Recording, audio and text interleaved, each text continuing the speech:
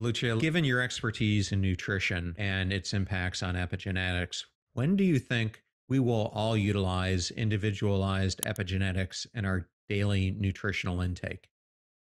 I think we can start from now. And I don't mean with a test necessarily. For me, individualizing epigenetics is can be done right now and in a very easy way. So we first start from the universal principles, right? That I told you in general, we know that an epigenetically complete diet involves animal foods and plant foods. We know how these foods nourish our epigenome then we need to personalize to people preferences and conditions.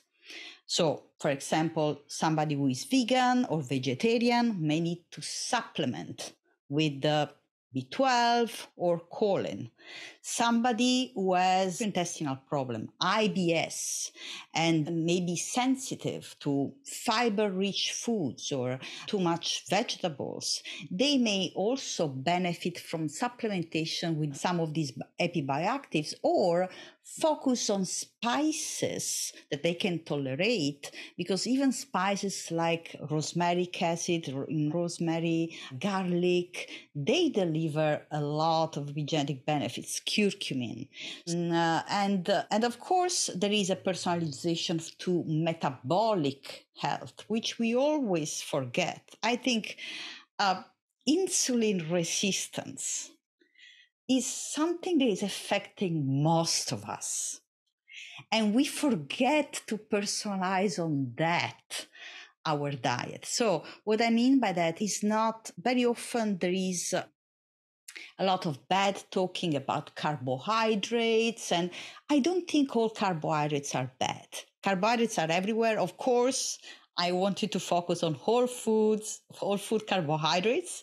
But then in the context of carbohydrates, there are more high glycemic index carbohydrates like fruit, and then low glycemic index carbohydrates like things that grow above ground, like, for example, green leafy vegetables, Brussels sprouts, broccoli. They're very low in glycemic index and carbohydrates five grams every 100 gram. You can eat huge portions of those foods, get a lot of nutrients, very few calories and carbohydrates. That could be a great choice for people with insulin resistance. So, an epi nutrition plan that is personalized could, for example, say, okay, uh, there are some fruits that are rich in epinutrients, but because you have high insulin resistance, focus on broccoli, which are really an epigenetic superstar.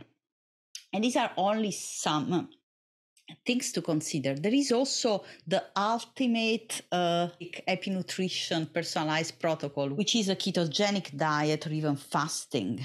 Because when we are on a ketogenic diet or fast, and sometimes we need to do it for therapeutic reasons, either diabetes or there are even brain disorders, we produce ketone bodies. And one of these is beta hydroxybutyrate.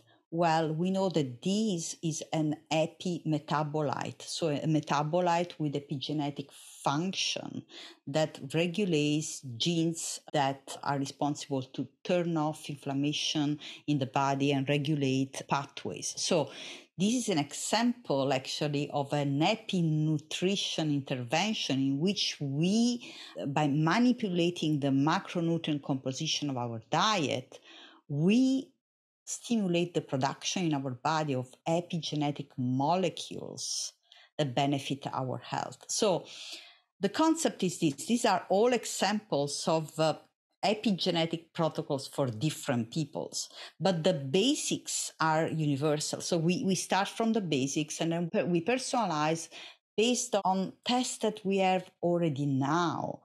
My concern about these cutting edge tests is that they are very interesting, but they are less precise at the individual level and they should never be considered alone and not in, in the context of other functional biomarkers.